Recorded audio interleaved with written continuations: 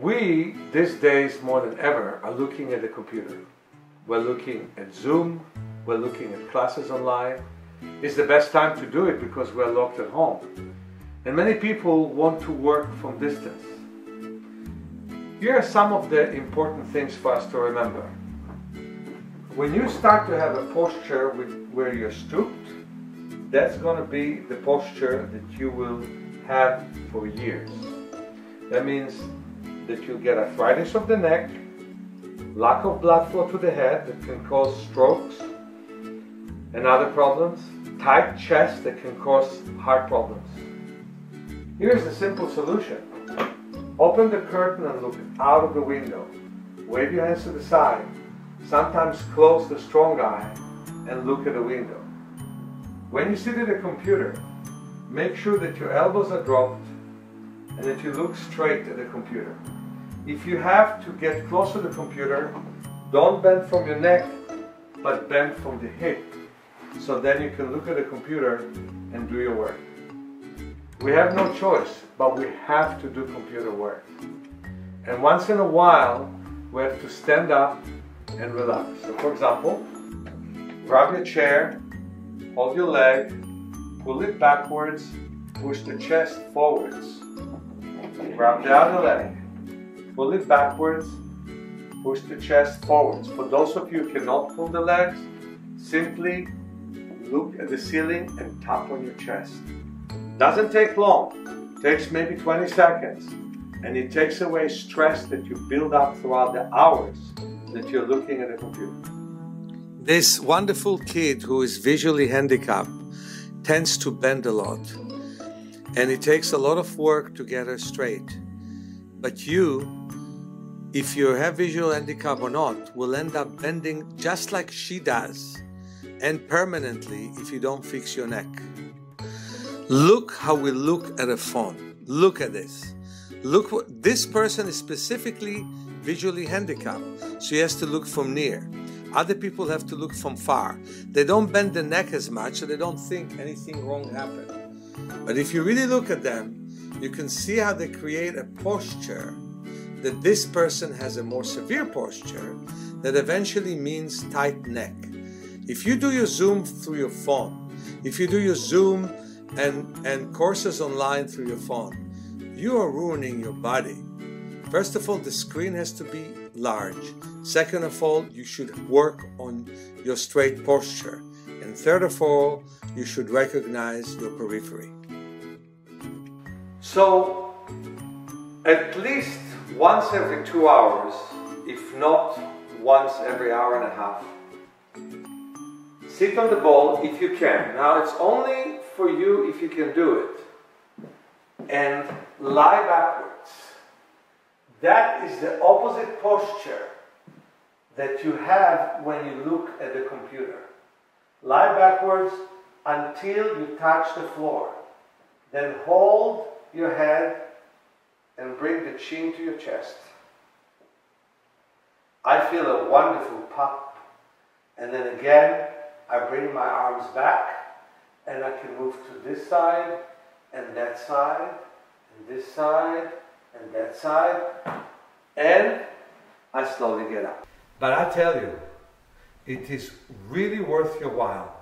When you walk, look a centimeter above you. And don't let that computer ruin your posture for life. Don't let that computer ruin your eyes for life.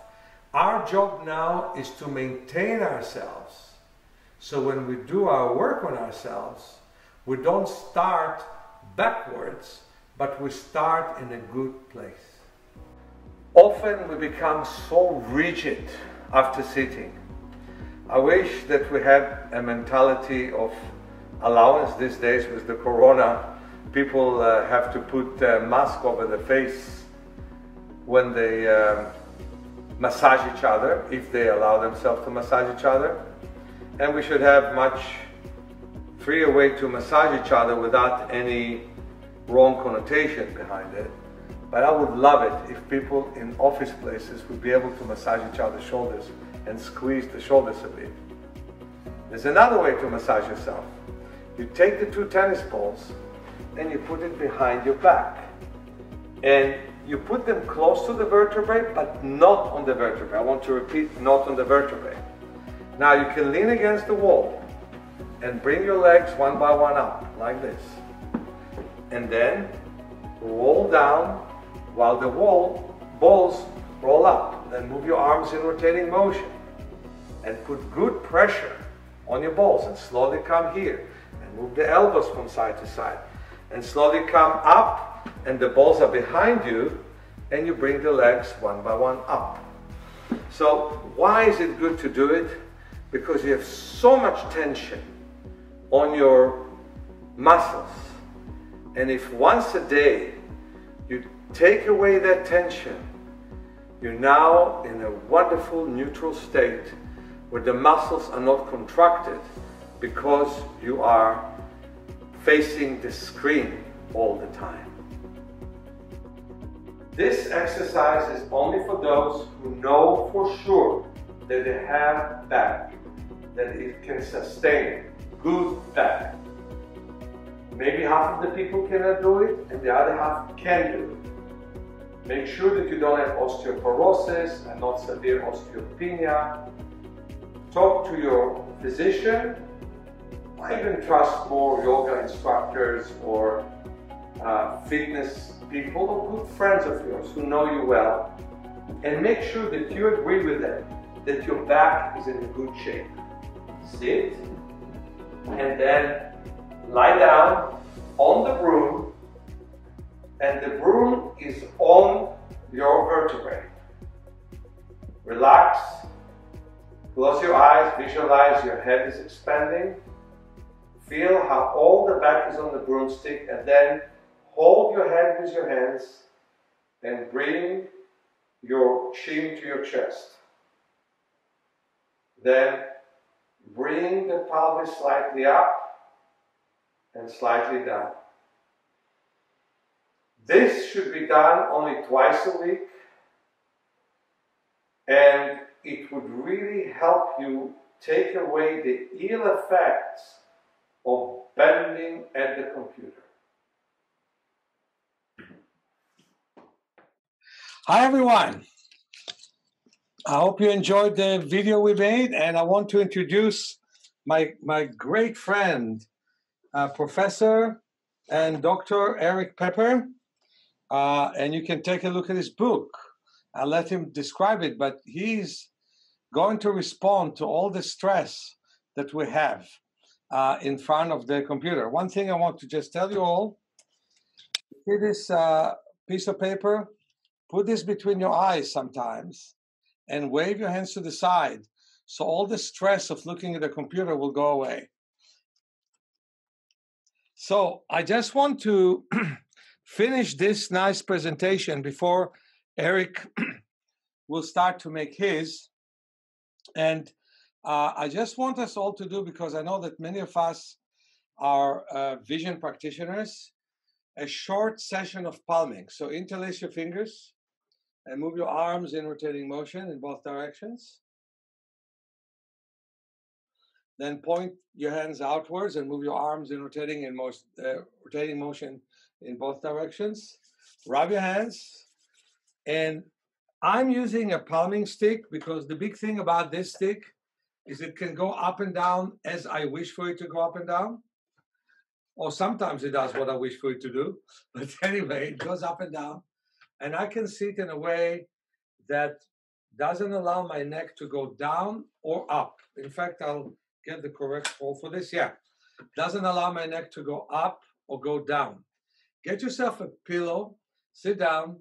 Uh, I will play for you some Mozart for five minutes. We'll palm, and right there and then, I'll say one more thing, and then Erik is going to give his lecture about Zoom fatigue that if you want a shooter and a bow.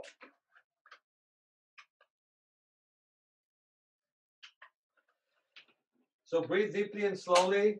Put your hands over your eye orbits and listen to Mozart and rest from this computer. That was it. Next, next.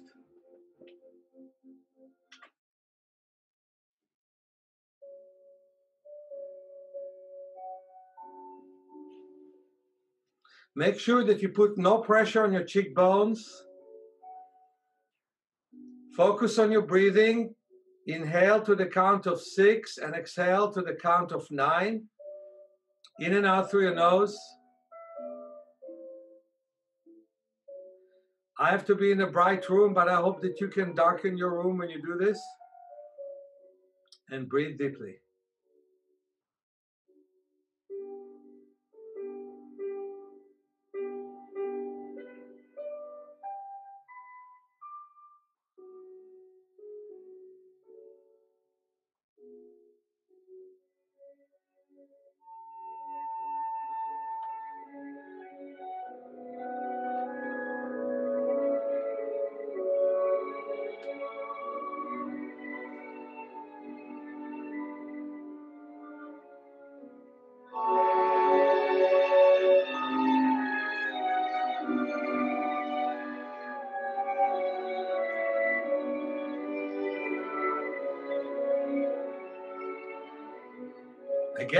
Pressure on your cheekbones.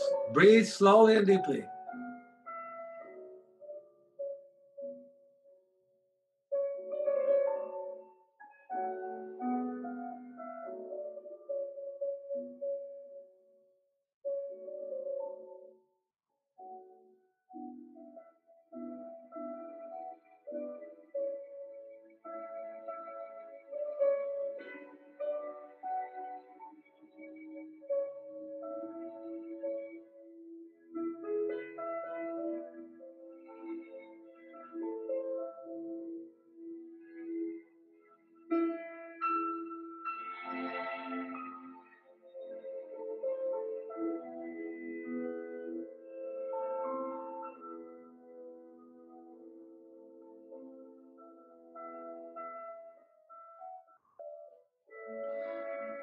Remember to not put pressure on your cheekbones. We can easily forget that. Don't do that.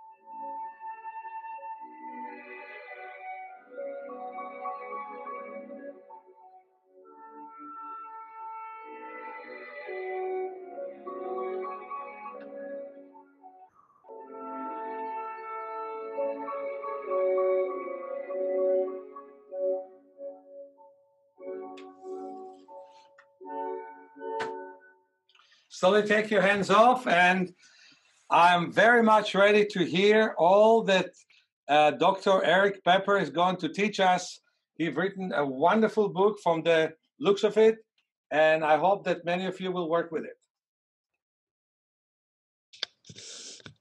Well, thank you, Meir, for such a generous introduction. And I'm totally honored to be here because for the many years I've known you, I have shamelessly borrowed your concepts and ideas and sometimes forgot to give credit. And even this, so thank you for our friendship and collaboration. Truly, I'm honored. Uh, as you did this practice of palming, I realized for myself I needed to rearrange my desk. And all I did, I took a stack of books. I guess you can just see it like this, maybe. It depends how there. And I put them underneath my elbows on the desk to get me the palming kind of stick model. I'm also lucky that I can raise and lower my desk. You know, there's so many pieces that, ha- that are involved in developing Zoom fatigue. Vision is the, one of the major obvious ones, and it affects the whole system. So, what I want to do is share a few useful tools that may be helpful, which are also described in much more detail and many practices in our book, Tech Stress. I think the first is to say we need to account for ergonomics. That means how we are arranged. And Meir already in his video pointed that out, how to sit. However, many people not just have screens, so many of us are using laptops. And laptops, by definition, are always a compromise. If I put my hands on the keyboard, I have to raise them a bit especially if the keyboard or the laptop is on the kitchen table. I have to bring my arms up. That increases my shoulder tension. The key is without awareness. Then, because the screen is too low, I have to look down. And when I look down, I get all these problems. Meir has pointed out already neck to shoulders. And I would add, in addition, my abdomen can no longer move because I'm being compressed. I'm applying pressure in the abdomen, which also inhibits our gastrointestinal tract, our digestion. It affects cardiac return because the blood flow is more compromised. And finally, as I sit for a long time, I don't use my legs. And I love what Meir did with the interruptive practices. That's what we need all do. We forget that our calf muscles are often called our second heart. Now, why would it be a second heart? Sounds crazy. Well, the way blood returns to the heart is much more by the squeezing of the veins by the muscles around it, as if the veins are like tubes, blood flow comes in it, the venous return comes in it, and then the muscles around it, when they tighten, they squeeze this tube, pushing the blood back up. When you're just sitting, that doesn't happen. Some of you have experienced a kind of analogy like this when you go walking. And if you walk for a long time, you often get fat finger syndrome, what I call it. This, you get a kind of swelling in the arms and hands after hiking for a while. And part of that occurs because you didn't squeeze the arms and hands and moved it. The same thing happens in your legs, which puts an extra strain on your heart. So let me go back to the keyboard for a moment first. The mechanics. Remember, even if the ergonomics are perfect, it doesn't solve it per se. Let me give an example. I can buy a superb chair, which is just right for me. It doesn't mean I sit in it correctly. All the chair does, all the arrangement will give me the opportunity to sit more correctly. On the other hand, if the arrangement is incorrect, then it's much more difficult and I have to keep compensating time and time again. So let me go back to the laptop. Those of you who are using a laptop, I can only say invest in either one or the following. One, get an external keyboard, which you can plug into the laptop either with Bluetooth or with a cable. And that now means the laptop can be at the level almost of your lap, the keyboard. Then you raise the screen high enough so the eyebrows are at the, about at the top of the screen. That is solution one. Solution two, you use the laptop low at on, on near your waist, and your arms can almost be dropped right down or resting on the table. And then you get an external screen, slightly higher, which is also larger, that will make it easier to look. And I think that's a very economical piece. And then what Meir pointed out, we need to take breaks. What is so interesting is I know it myself. I should take a break all the time. However, I tend to be captured by the content of the screen or the work pressure. And if I have children, my children are now too old, but when my son and daughter were younger, especially boys, when they're playing computer games, they're so captured, so involved that when mom or dad says, It's time for dinner, stop, the child will say, Five minutes, and another hour will pass. They're totally captivated by the, they're they're trapped. And the reason is that our computer displays, our technological displays, really activate early survival biological mechanisms. As Meir has pointed out as well, none of us would have survived in the jungle by just looking at the screen at, at 18 inches. We would naturally look at the far distance, research, and anytime there's a peripheral movement, our brain is wired to look at that because it could be a foe, friend, danger, a wild animal, food sources, etc. We would need to identify that. And so the, the screen acts just like that. It keeps activating us. So we're totally captured, and it's almost not in our control because you're activating these evolutionary survival mechanisms. In the same way, if you're doing social media, and my students and friends do this, they will continually check their cell phone 80, 100 times a day for a message, even if it didn't even vibrate. They would automatically reach and they want to update. Again, it is activating a social mechanism or survival mechanism. If I'm in a small tribe, I need to know where people are. I need to know the power structure because I need to know I need to know the local gossip to survive. The same way the that's how the cell phone activates those same processes. Plus, every time it reacts, our brain gives a little positive reinforcement, you know, and we get totally addicted and captured. So You've been sitting now for a moment. The trouble is, how do I remember? Ah, well, let me, I cannot trust myself, I found out. Despite all the lessons Meir has given me, I, I still keep, you know, I get up after two hours, even though I know every 20 minutes I should. So what I now do, I have installed a free app on my computer. I highly recommend something like this if you haven't done that. The free app is called Stretch Break. There are many like this. It's called stretchbreak.com. I put the link in earlier in the chat box. I don't know if, or it may have just been to Meir. It gives the link, no money.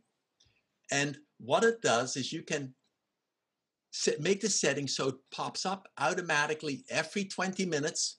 It will take you through stretches, or you do the many great stretches and exercises Meir has described because some of them are much more useful. But at least you're doing this. Just for a moment, just get up. Just get up for a moment. All of you, get up. Yes, Gloria, even you, get up, everybody. And yes, Rachel, do get up if possible. And now just reach up for a moment. Just play. Look up. Look up. You can even clap.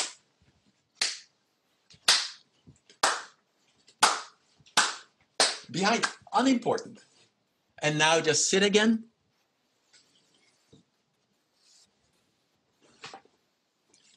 And just check. Did your energy slightly go up? If yes, nod your head up and down.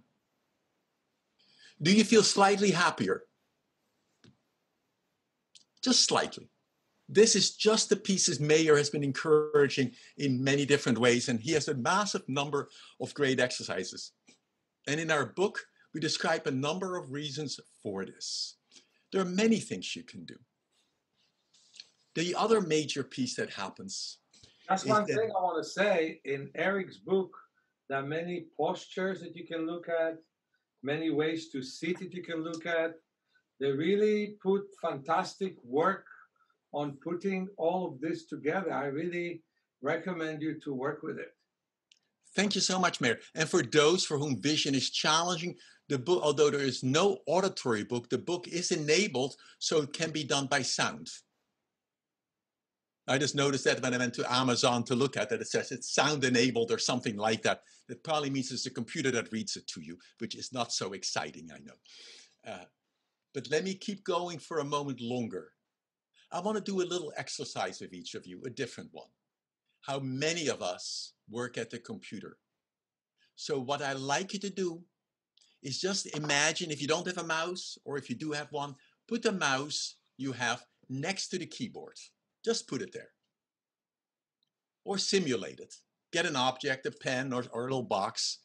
And now put your hand over the mouse. Let me instruct the what to do. In a moment, I'm going to ask you to draw your street address, each letter with the mouse. Except you start the last letter of the street address and go backwards. So if my street address is Derby Street, the last, the last letter is T. So now I'm going to take the mouse and I'm going to draw the letter T. Then, after I've drawn the letter T, I click. Then I draw the letter before that, the letter E. Is that clear to all of you? Yes? The instruction is clear? Okay there's some very, now what I'd like you to do, when you draw this, I want you to make each letter about a half inch or smaller in height, about one centimeter. Okay, so it's a very small movement. I'll let you, are you all ready to start? Start now. Do it as quickly as possible. Don't let the letters be bigger than a half inch. Quicker, quicker. Be sure you click between each one of them. Quicker. Don't make a mistake. Quicker. Enough. How many of you noted that when you did this exercise, you found your shoulders tightening? This means yes. How many noted that you stopped breathing? How many may have even started to tilt slightly more forward? I got to perform well. And notice we were totally unaware of these somatic changes when we did this practice. This is what we do often unknowingly while we are working at the computer, whether we're working on an Excel file, whether we click and go down the rabbit hole of one hyperlink to another, and we have to move the mouse around. And I can feel it automatically, or I know it. I don't even, I'm unaware of the feeling often, but I intellectually know it. I automatically go, you can see me starting to move forward almost when I start doing this intense work. So it's critical to keep that in mind. So remember that most likely we are unaware of the muscle tension. And in our book, we really give some nice physiological recording where you can record the muscle tension. And I think with Meir, we can easily do that as well together. You can monitor the muscle tension, and then the machine would tell you I am tight, and I didn't know it. I want to shift to one more body position, which Meir pointed out so well about posture and collapse. When I collapse and I co- and I tighten in here, which so many people now do in their neck, it often reduces the blood flow and can lead to significant headaches. Just for a moment, don't do it too long, experience the effect of that posture. So what I'd like you to do is bend slightly forward, like you bring your, your nose to the screen and then really contract down in the back as if you're pulling the head into your shoulders. Just hold, feel that tension when you're doing it. And your chin is up and you keep pull, contract. I think that's enough. I don't want to do it for a long time. Please. How many found that it was you felt a little bit dis- uncomfortable? Yes? Almost all of you, right? Notice I exaggerated what you normally do. It's only by the end of the day that people experience Zoom fatigue.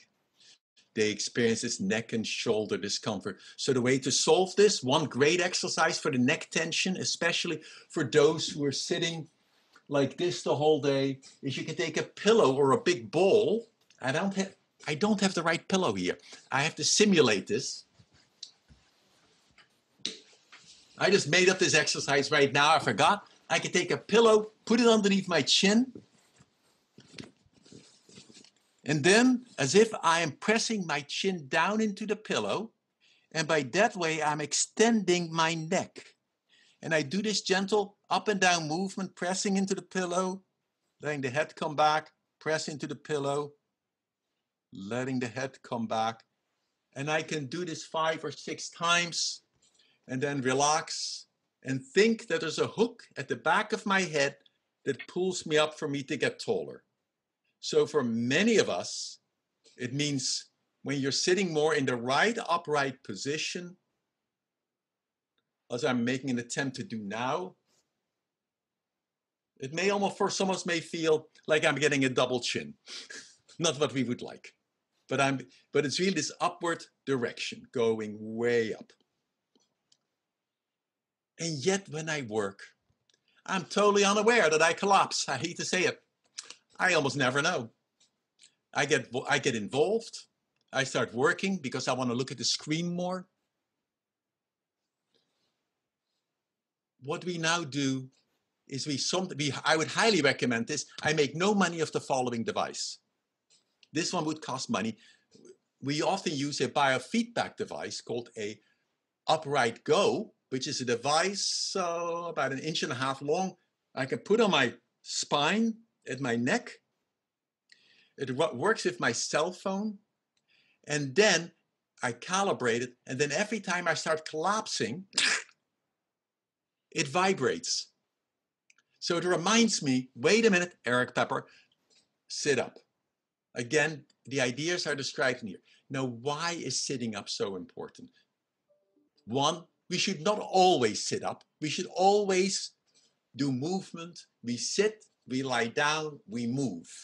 That is critical. But why do I, I'm totally in agreement with Meir and his perspective, looking upward, going to the beach. Why is it? What is the posture of someone who's depressed, who feels powerless? They collapse. They feel defeated.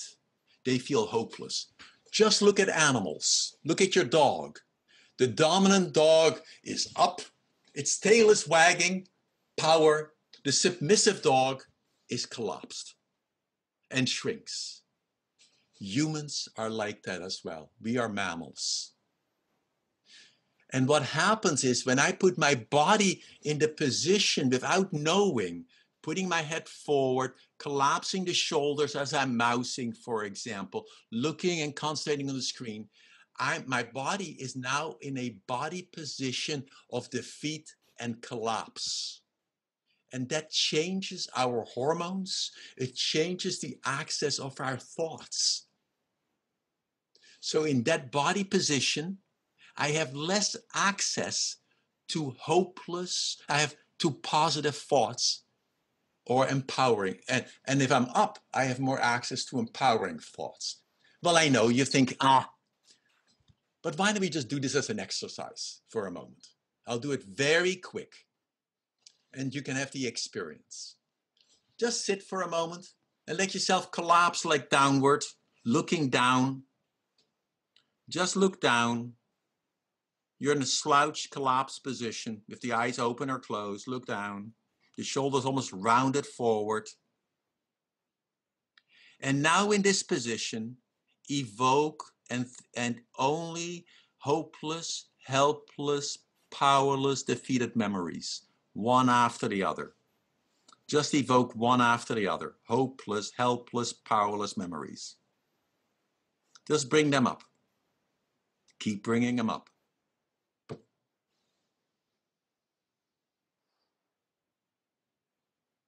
And now shift. Keep the same collapsed, defeated position. Now evoke only positive, optimistic, empowering memories. So now, still collapsed, evoke only positive, empowering memories.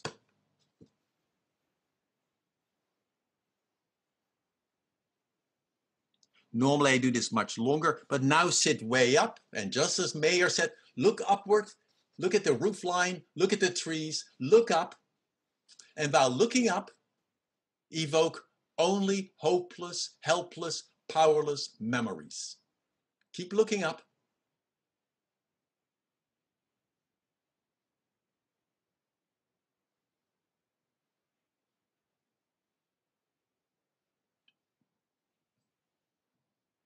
And now stay that same position, looking up, evoke all positive, empowering, positive memories.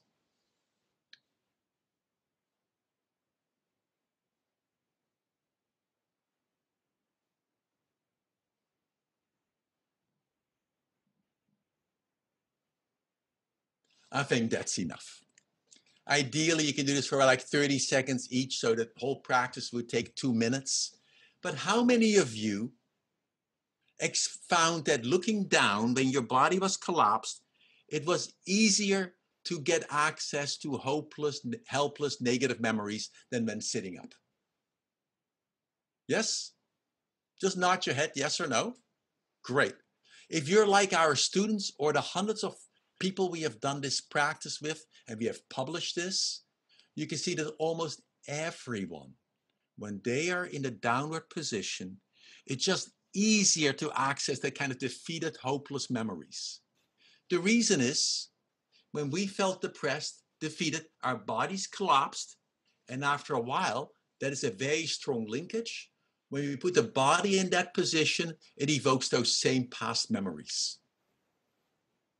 And in the same way, when you're sitting up, it was possible to think of hopeless, helpless memories for many of you, but somehow you may have been a bit more distant from it. You had a little less attachment to it. And it was slightly easier to have the positive memories. I'm always so impressed when this doing. And for those who have younger, well, for younger children who are struggling with math, for example, and we have done this a study at, at San Francisco State, we do the same study. You collapse and then mentally subtract a number, let's say number seven, from 124 sequentially backwards. So it's 124, you know, you know, uh, 117, 110. And th- that's in one position. And the other position is you sit up and do it. Almost everybody reports that when they're collapsed, it is just harder to do the math. And what is so interesting is the effect is the biggest for all those students who report beforehand that they have math anxiety, they're worried, they're stressed about performance. So if you're worried about performance, think you can't do something, then the body position amplifies that negativity and stops you, almost inhibits you from doing abstract thinking. We have a choice. And just like posture, it's critical. So the moment you collapse, stop. Okay, yes, I collapsed. You can acknowledge I collapsed because I'm tired. Well, maybe I should go outside and do movements. I collapsed. because I had depressive thoughts, hopeless thoughts. Ah, I need to learn to start observing and changing the thoughts. I collapsed because I needed to look at the screen. I couldn't quite see it. I may, I may need to have a larger screen, larger characters. I may need more visual breaks to rest my eyes so it's possible. Or I collapsed because I crossed my legs. and when I cross my legs, automatically my spine goes as it curls and I start collapsing. There are many other practices and concepts. But to me, the posture is so critical. And how do you remind yourself to do this again? To take, so you've been sitting. So for a moment, you can do almost anything. Just roll your shoulders. It's not important. And Meir has done many, many exercises of tapping your body. Remember, he can guide hundreds of these. So take a breath for a moment, sit, and let me do one little exercise for regeneration. What I'd like you to do is to put your hands on your abdomen, almost like your hands rest, literally rest in the groin so you can feel your lower stomach. And when you inhale, let the stomach get bigger. And then inhale through your nose. And then as you exhale, let the air flow out real slowly. And feel the stomach getting slightly smaller. And keep breathing like that. Once. Good. Two. Now what I'd like you to do is I'd like you to take your right hand, put it on your left shoulder, and now when you inhale, let the air go into your abdomen like there's a big balloon there. And now when you exhale, stroke your arm down. I'm making a sound as I exhale down my arm, as if I'm pushing the air down my left arm.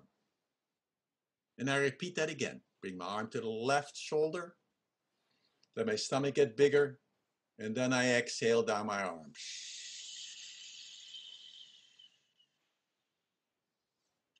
One more time. And I almost squeeze quite hard on my shoulder, on my arm as I do this. Good. Now I take my left hand and put it on my right shoulder. And I repeat the same motion. So when I inhale, my stomach gets bigger. As I exhale, I stroke down. And almost really squeeze. So I really feel the pressure going all the way down my hand and again. Let the air come in, and then very slowly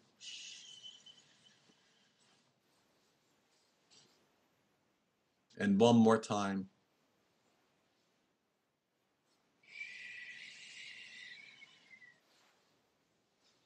And now I take both hands, put them in my hips, take a breath so my stomach becomes bigger, and now as I exhale, I bring my hands down my thighs, past my knees to my calves.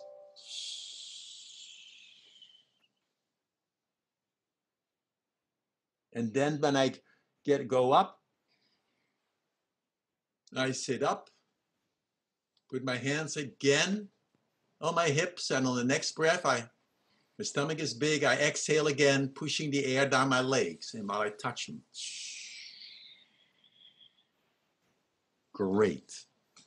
And now, with your eyes closed, sit back. Be sure you're sitting up.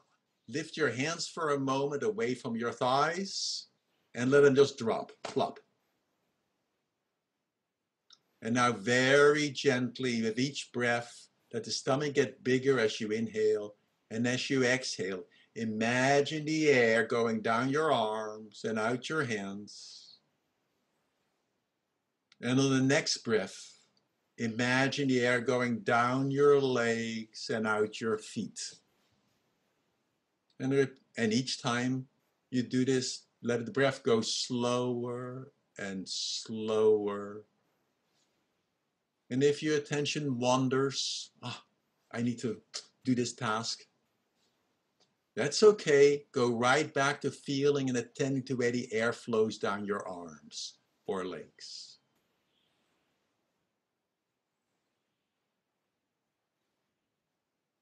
And let the eyes be closed. And as you're sitting like this, imagine that the back of the head gets taller at the same time. As if the air can go to, in for the top of your head. And then stream down your neck, down your arms, down your legs as you're exhaling.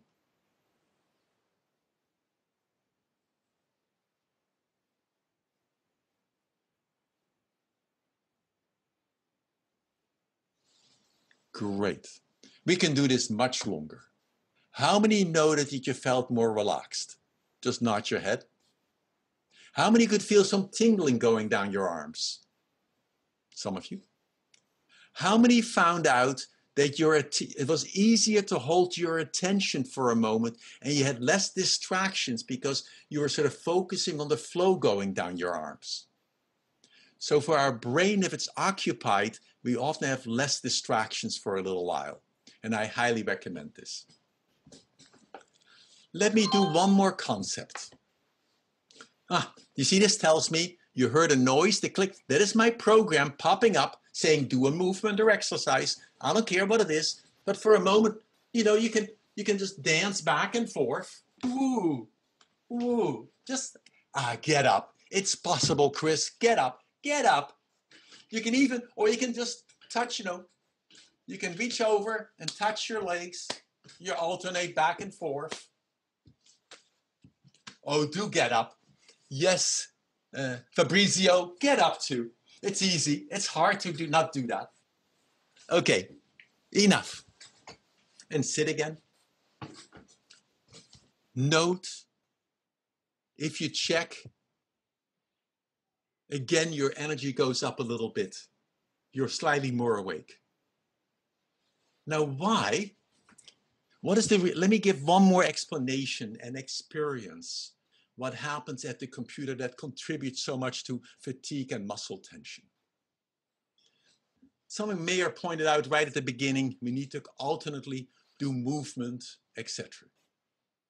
The reason is what you experienced when we did the mousing exercise, that your muscle tension was held. You stiffened your body. And we, do, we don't realize that the muscles are slightly contracted the whole time muscles are designed to contract and to relax, to regenerate. Contract and to regenerate. While when we're working at the computer, whether we're holding the mouse and our index finger holding the mouse is just held up the whole time, our shoulder is slightly tight and we're unaware of it, that leads to long term harm. Let me give the subjective experience. So, what I'd like you all to do as you're sitting is just lift your right knee about an inch, an inch up, two and a half centimeters, so that the feet are now lifted away from the floor. And just do this. You're just lifting the knee a little bit, nothing very much. The foot no longer is resting on the floor. You're lifting the whole leg up. And how many of you are already starting to feeling some discomfort? Not your head, I know. I could ask you, how long can you do this? That would probably depend how much I would pay you for doing it. but I think this is probably long enough. Let it rest. And can you feel the area relaxing and letting go? You may almost feel an imaginary warmth flowing through that. Now, that muscle we just lifted, we used to lift the leg, are, is the same muscle we would use when we walk. So when Meir goes to the beach and walks on the sand, he activates those same muscle to lift the leg forward. And I bet you Meir can walk for miles doing this. But why can he do this? Because he tightens the muscle, relaxes it, tightens it, relaxes it. And that's the concept we forget when we're working at the computer. It's the same concept for vision when I'm looking at the screen, and here I, I borrow very generously, thank you, Meir, from all your concepts. Uh, when I look at the screen, my eyes are converging. You all know that much better than me. My, I, I, my lens accommodates, it tightens, the bulge lens more. These muscles are held contracted. When muscles are held contracted, they cut the blood flow through that tissue back probably 80%. And if I do this long enough, I get into trouble. Except I don't know I do it. So Meir's exercise really is go, do palming. Look outside just for a moment. Look at the far horizon to let the eyes diverge and the lens flatten. It allows more blood flow. And finally, when I work at the computer, because what is on the screen, the images are really the same for my brain as reality. When I watch a video, what I see on the screen for my body, it doesn't know it is a film. I, intellectually, I know it's a video or a film created in Hollywood or somewhere else, but my brain just says it's real.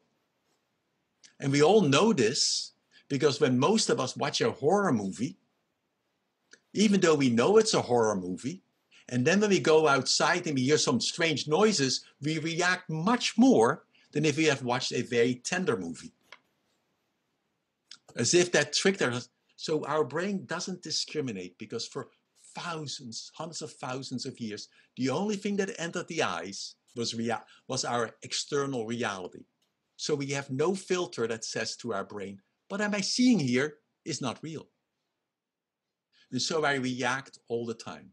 So let me do one practice of this to give that experience, which all of you know. What I'd like you to do is really look at the screen, really start concentrating very well with high intensity, like you're almost scared, really, you know, and almost gasp when you're doing, oh my God, is that real? Can I do this? Did I get the right entry to the number? Really do this. Do it more. And notice when you're doing that, you may be holding your breath or shallow breathe. Your eyes are open. You did not blink. You feel the coolness in the eyes. Now stop, relax. We do something like this all the time without knowing.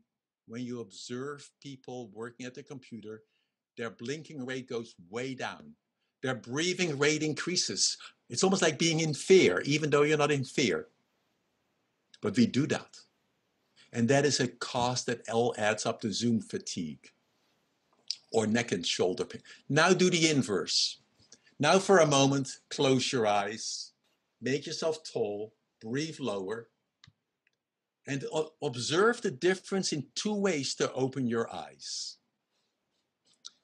Let your eyes be closed. And now, in a moment, I'd like you to open your eyes as if you're surprised or scared and, and inhale or gasp at the same time. So if I did, did it, it would be like this. Notice I purposely gasp and open my eyes wide to see the world. I want to see the tigers all around me. You ready? Get set? Just do this. So your eyes are closed, and now you just gasp and open your eyes wide to look at the tigers. Don't miss any of them. And hold it there. Keep looking for them. Keep looking for them. And when you do that, you can feel your eyes almost getting drier. Now close your eyes again. Breathe easily. Lower. As Meir said, slower and slower upon the exhalation. Breathe through your nose. And now, this time, when you open your eyes, don't do that yet. I like you first to inhale in your abdomen, then let the airflow go out, beginning to go out, and then very slowly open your eyes like you don't care about what is visible. It's like having with soft eyes. So let's do that for a moment. So you inhale in your abdomen as the air flows out, midway for the outflow, very softly open your eyes, almost looking down like you don't care. And what you may notice when you do that, that you can almost feel lacrimal, almost a tearing, a slight increase in moisture, and you're relaxing the eyes. So that's a very important thing. Um, right. Few things that uh, our friend Erik was saying is, first of all, the bending of the head is very difficult for the eyes, but I would want to give you some value. Every centimeter that the head bends is 10 times harder for the neck uh, and the chest than the centimeter before because you have to tighten the muscles which are in front. And in order to protect yourself and not to fall, you have to tighten the muscles in the back. I'll never forget that I saw one uh, person with uh, limb girdle muscular dystrophy, which means he had dystrophy, especially in the hips and in the shoulders. He looked straight, he walked straight, but if you ask him to bend, he would fall because he didn't have the muscles to get him to stand up. So all of us can freeze ourselves, we can bend this way, but what happens is then the muscle, uh, other muscles will pull us back. So we are not aware of how much tension we put on ourselves. The other thing that sitting is so hard on the back. Uh, it's much easier for the back to walk and to uh, and to stand than to sit.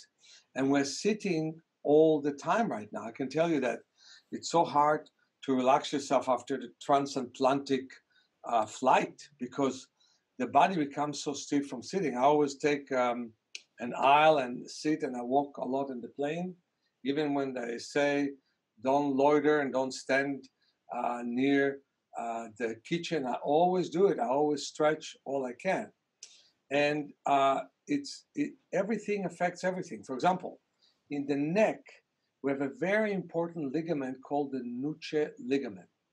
This is such an important ligament because if you put a plate over your head, it will not fall because the nuchal ligament will hold the neck very much loose and your muscles will not tighten. Now, it connects, in my opinion, I'm saying my opinion, to the suspensory ligament of the lens. So if you look far the distance, the suspensory, uh, suspensory ligament stretches the lens, the muscles of the lens relax, and at the same time, the nuchal ligament works. And all your muscles are even. But the very fact that we look so much from near, and then with radiation, gets the neck to be stiff. Now, if you ask me, why do people have most blinding conditions today? That's because of stiff neck and stiff middle back. Lesser than that, much lesser than that, is the fact that so many people have dry eyes and overly wet eyes. Again, that comes because of stiff chest and stiff neck. And that's why walking backwards and running backwards is one of the best things that people can do. I'm uh, running on my pruning stick, yeah. One of the best things that people can do in a very mild way it creates a nice traction to your uh, to your back and neck. So for that reason, uh, I think that this lecture was really in a very good place in that it talked to you about how your tension accumulates. You know, people come to me and say, oops, I was always okay. Now I went to the doctor and I have stiff neck, I can't move. Or I have glaucoma, or I have wet macular degeneration. We have to start in our daily practice. What we eat makes a difference. I must say, I am a bit critical of how much I love ice cream, you know, but what we eat makes a very big difference. And also, how we sit make a difference.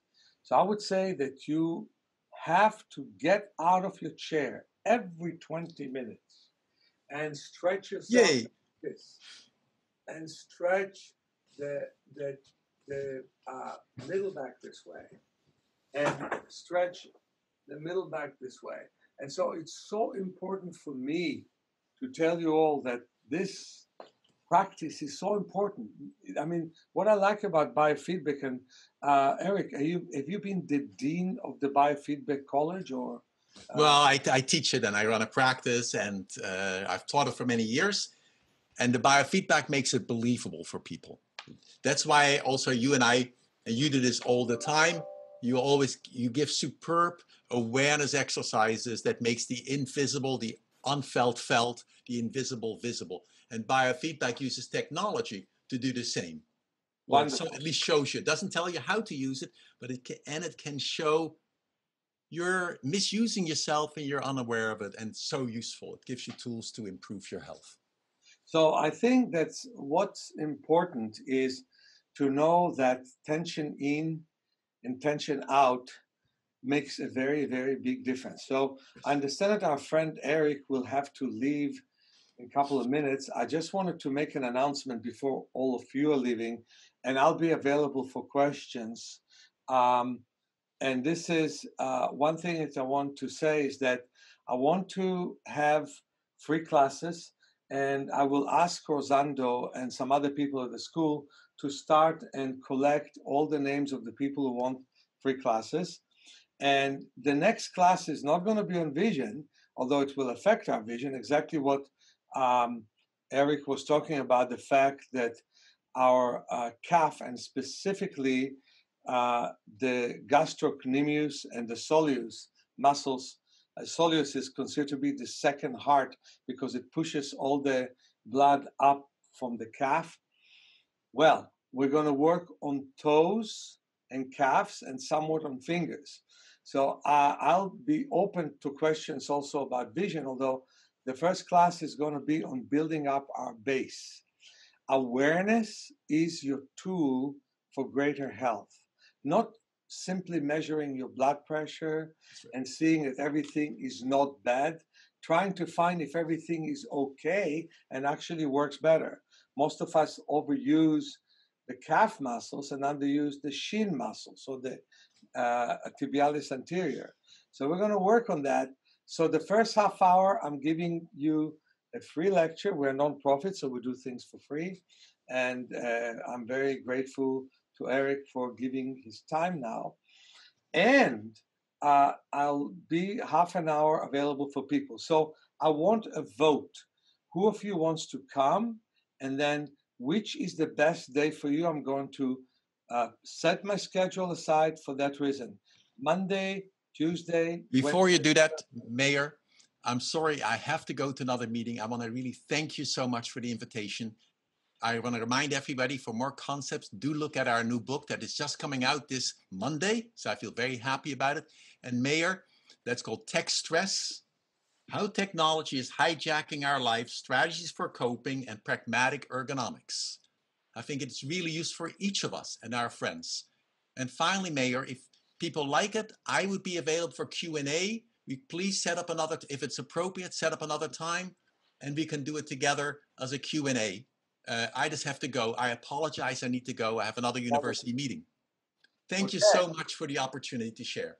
Thank you. Bye bye. thank you for coming. So, this is Erik's book. I want you all to see the book, and you can purchase it in Amazon or elsewhere. Okay. So, I just want to say that just like we talk about heaviness of neck, we can also talk about heaviness of the eyelids. And I'll just finish with a nice little exercise. And this is uh, all of you, massage, if you can stand up and massage your eyelids very gently from up to down, from up to down, and stretch them and massage your eyebrows. Start by putting pressure on the uh, bridge of the nose and then outwards, put pressure on the nose and go outwards. And um, I'm so happy that we have so many wonderful vision practitioners here and body workers uh, as a part of our group. And I'm open for questions and answers for the next few minutes. Oh, Q&A. Cool. All right. With that being said, um, please make sure you guys use the the raise hand feature, and we will get started with the questions. I see that Monir is already raising his hand, so let me go ahead and. Well, actually, let me go ahead and um, fix something here. Okay, so um, Monir, your your microphone's not on, so I, I we can't ask we can't answer your question. But if anybody else has a question, please uh, go ahead and raise your hand. We will unmute you. Chris, all right. There you go. Hi, man. Hi, man. Nice to see you. I recently went and had an eye eye exam and the the numbers that came back were 1.5 and 1.75. Um, so I assume that's the diopters of myopia that I that I currently experience. And I was just wondering where you would recommend that I start with my uh, eye work to improve it. Well, uh, I'm happy that you're going to start with eye work, and the first thing that you want to work is looking at details and details that are easy for you to see, and then smaller details from near, which are harder for you to, to see. And then look at medium distance at details uh, and use an instrument that we have in our book. I don't have it right in front of me, which is called shifter. And I, I do have it in front of me. Um, and what you do is uh, you look, uh, you shift from line to line on this, and that way you look at the world. So look at the clouds, look at um, the sky, and let me ask you a question, Chris. Do you look a lot, a lot of the computer at the computer these days? Yes. Yes. So you need to take many breaks from the computer. It's not impossible that if you did not look at a computer for a few days and then measured your eyes, that your correction would have been half a diopter less or a diopter less. So first of all, look at the distance. Take many trips out. Uh, one of the worst things that happens these days is we become really lonely, and our friend is the computer, and that's not a good friend to our eyes or to our posture, as Erik was talking about. So, taking walks, you look like a young, strong man. So, taking walks, looking at the clouds, discovering which eye of yours is weaker, and and covering the eye that is stronger and working with it. So, um, we have glasses like this. For example, my right eye is stronger, so I'm covering it, right? But if your left eye is stronger, that's what you cover. And looking at details uh, looking from line to line. You can use the clouds as a shifter and shift from cloud to cloud and from area of the sky to the other area of the sky. Okay, good. Okay. Cool. Thank you. Um, Okay. Chris, real quick. Okay, Monir, go ahead and uh, unmute yourself and ask a question, sir. Okay. Hi, Meir. Uh, so I just want to tell you, I just got your palming stick. Here you can see it. And it is really amazing. I'm in Canada and I got two of them, uh, one for me and one for my mom. And uh, Wonderful. they're really awesome. Wonderful. Thank you. Yes, yes. I encourage I have everybody. five at my home. I have five palming stick at home, and I'm so I glad, think, I, yeah. I'm so glad you got it because I forgot to sign the custom form. no, I got it. I was so excited, and actually, I had it now for like a week. And uh, you know, from the time I was really struggling with this palming, and I'm doing it now actually for over an hour a day, which is really amazing. I'm just looking uh, forward to do a little bit after this meeting, actually. So if anybody hasn't have it, I hasn't have it yet, I would really encourage everybody to get one at least. Thank So you. my really question for you. That's so simple. Yeah. Thanks. yeah, and uh, my question actually, a couple of questions. The first one is, if there's one exercise that you would recommend for releasing the eye stress from the computer, would it be palming or would it be far looking? It, or should It we just be, alternate? it would be either one of them. I think far looking is more important, and peripheral work would be more important. You know, to put the uh, different, we don't have here all of them for some reason, but to put the different size paper uh, in front of the eyes and to wave the hands uh, sideways. Ah, we have several here. Yeah.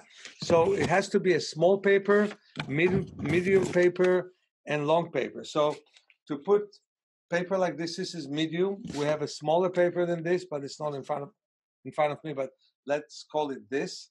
Small paper between the eyes, medium paper between the eyes, and then uh, uh, long paper, and then longer paper, and wave your hand to the side. And Munir, you have to do it at least once a day. But the small paper do several times a day, so you take away the stress of looking at a computer. And as you look at a computer, from time to time, wave your hands sideways. I, it's hard for me to compete with this thing on the screen, but wave your hands hands sideways. They Eh, see you. They, yeah. As you wave your hands sideways, you take away a lot of the stress that you have looking at a computer.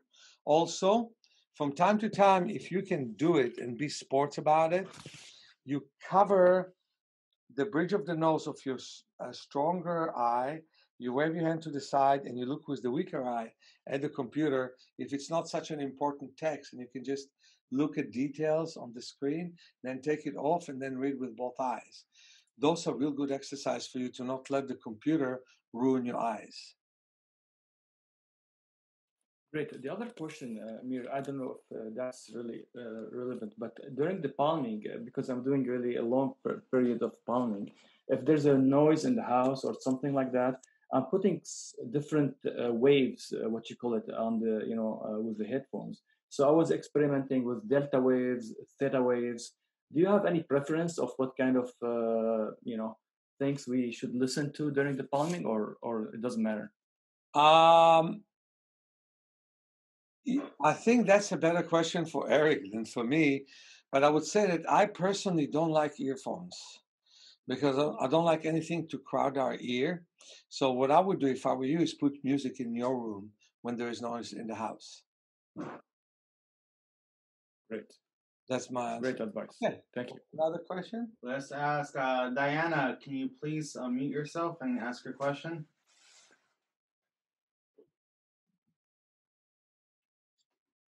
Diana? Yes, I'm here. Can you hear me? Yes. Ah, hello, Maya. Nice to meet you again. Um, going back to the posture, uh, I remember last uh, session on myopia, you told me to get a, a massage for my neck. I remember that well. And now I'm really aware of sitting tall, but yet I have this tendency to do this with my neck. I, I, I, I've always had a, a stiff neck, and I don't know what to do really to pay more attention, to be more aware uh, that my neck is like this all the time. I don't know really what I've been doing exercises, but I don't know what to what to to do really. Well, well what happened is you develop real stress in the front of your body, Uh huh. the back of your body, and you have to pass through a period of time when you sense more the back of the body. So, uh, for example, uh, if uh, everyone is willing to lie on the floor for a minute, I'll show you an exercise. Are you willing to lie on the floor? Yeah, of course. Okay, so let's all of us lie on the floor. I'll put the yoga mat here. Can you help me? Here I am. This yoga mat.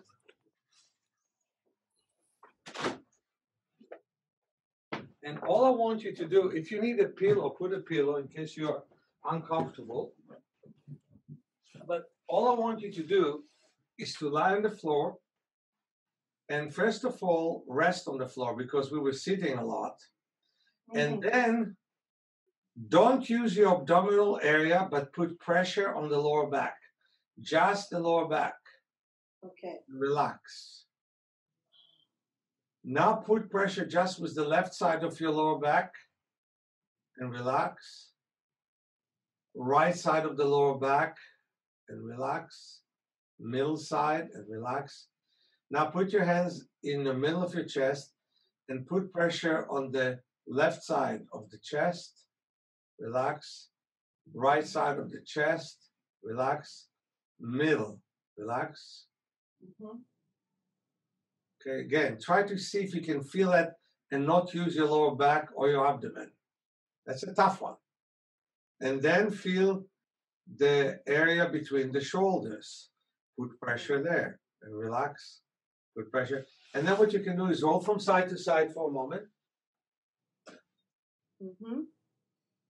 and do exactly the same thing again. Let yourself collapse. Feel the lower back, the left side, Mm-hmm. pressure, relax the right side with pressure, relax the middle. Now the left side of the middle back, right side of the middle back with pressure, then between the shoulders, and then sit up. And you turn around to sit up, and then when you sit up, move in rotating motion this way, and then the opposite way, move in rotating motion. So, in fact, this is what I actually wanted to talk to you about. Try to not use your arms to stand up if you can. Ah, what I wanted to say is that you have de- overly developed the front of the body, your chest and your abdomen. And in fact, in physical education, they tell us to do it. Overuse your abdomen, tense it for everything else. Even in most gymnasiums, that say do that. And they're really causing us arthritis. And uh, we need to develop specifically our back muscles Mm-hmm. and tense the back. And so many people have a stoop posture for many different reasons, but the computer is definitely one of them.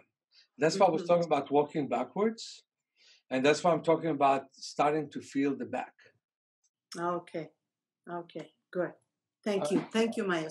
You're welcome. Okay, and this is, I think, the last question. Nobody else is asking a question. Mary White, please unmute yourself and ask your question, ma'am. Where is she at? Okay. So I just want to announce once more before. I, Ah, hold on, you know, I unmuted and then it, it didn't unmute. I wanted to thank you for the class. It's been really helpful and there are a lot of people who can't attend in real time. I was wondering, is it possible to make the classes available like after? So uh, the people I tell about, I can tell someone, there's this wonderful class from my teacher, Meir Schneider, and here's how you can access it. Because I noticed a lot of people in the chat were giving different times. We're from all over the world. So I, wa- I think we should do the classes regularly. They're very helpful. So you're, you can you're, tell me- starting, you're saying something very important. First of all, this one will always be free on YouTube. Yes, this video will be free uh, completely on YouTube and it'll be uploaded very, very soon, probably by tomorrow. Okay, and, and Rosanda will will upload it. So that's going to be free. The class on myopia will only be free until sometimes next week. And then what? Today's the last day of myopia. Ah, sorry, today's the last day on myopia. Okay. Uh, so then people can buy it. It's $25 to buy it. Um, the class on cataract is already available for $25, Mhm. but this one will be free. But what I'm an- announcing is that I want to give free classes. Mhm.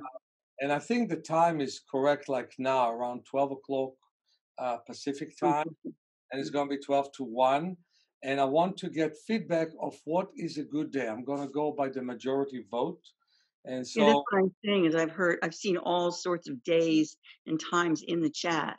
Some people are saying, you know, I could come, but it depends on the time. Some people say I'm in Brazil or this. So that's what I was saying. If you want to do a regular free class, but, but it. those will be regularly on youtube we're not going to charge for them on youtube or uh here so the good thing about being in the class is that people ask me questions and Correct. And that's why I want people to know about it. So even if they can't come, if it's an issue for them, they can go and watch and hear the questions and your responses.